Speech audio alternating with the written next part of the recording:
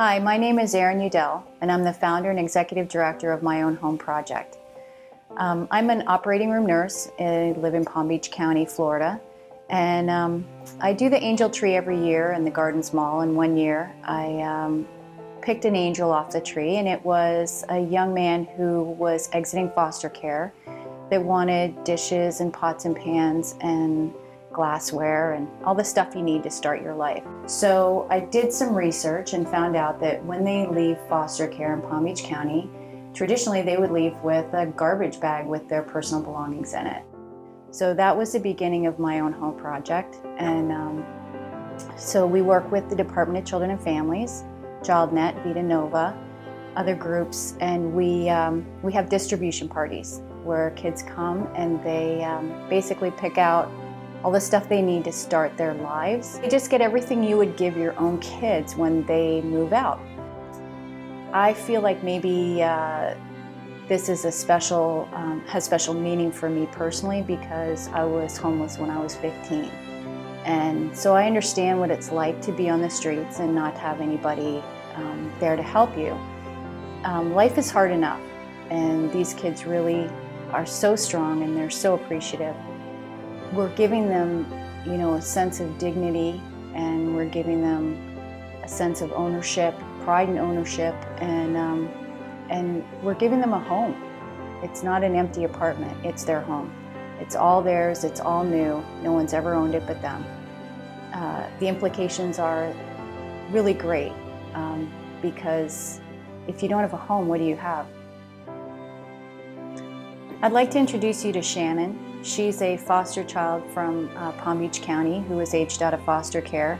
She's going to share her story with you, and she was a recipient of a distribution party from My Own Home Project. My name is Shannon. I'm 18 years old, and I aged from the foster care system January 3rd, 2014, in Palm Beach County. I ended up in foster care. Uh, I was in and out my whole life as a baby. And as I got older, um, my grandma took custody of me and my two brothers. I don't know my father and my mother. She she couldn't take care of us because she does drugs. I know my grandmother and she took care of me and my brothers for about a month or so. She ended up calling DCF because she couldn't take care of us.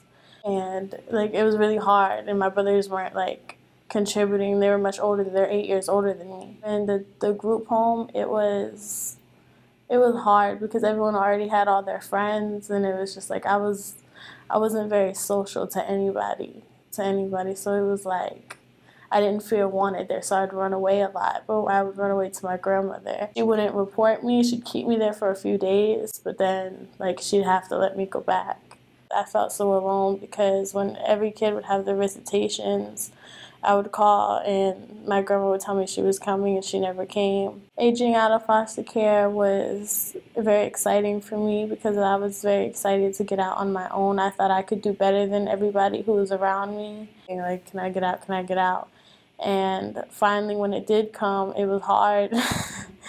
because like life isn't what you think it is when you're a kid. Like you think it's just oh just go get a job and then you'll be rich. And it's not like that and like you have to work very hard and it's hard to do it alone because no one's there to support you when you need it the most. My own home project that helped me to give me um, a sense of belonging when I was when I did get my own house because it gave you like every necessity that you needed. And I went home wanting to go home for once and it wasn't like I didn't want to be there. And I just put it all in a room and I didn't think anything about it. I went in the living room and I sat on the floor.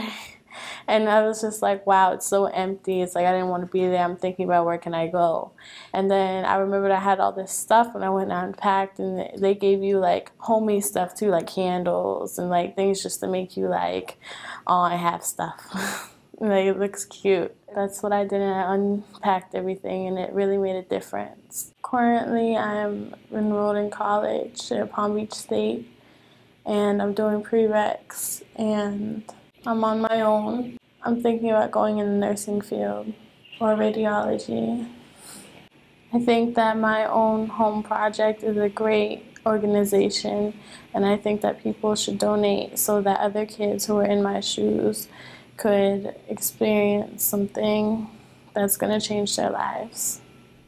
My Own Home Project is an all volunteer 501c3 nonprofit in Palm Beach County, Florida. We're helping foster children one child at a time. Won't you please consider helping these kids on their journey to adulthood and independence?